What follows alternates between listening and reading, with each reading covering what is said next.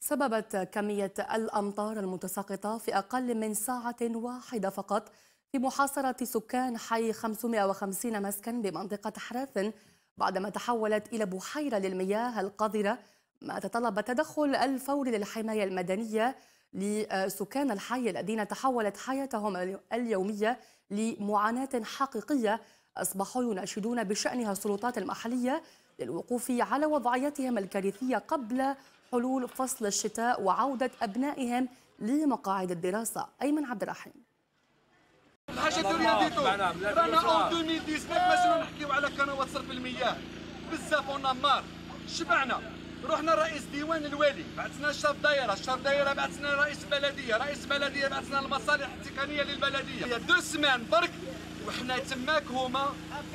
مازال l'entrepreneur مازال باش يديروا المناقصة المزايده je sais pas quoi قاعدين يتمسخروا بينا. أنا حاصلين وما كنقدروش نكراو. نطالبوا المساعدة باش نوليو ندخلوا نكراو ونخرجوا.